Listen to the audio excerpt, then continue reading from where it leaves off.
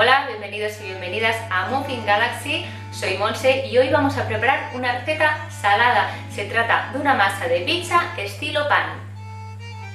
Esta masa de pizza solo necesita un leudado, así que será relativamente fácil y rápida de hacer en relación a otras masas que requieren dos, dos o tres leudados o de masa madre.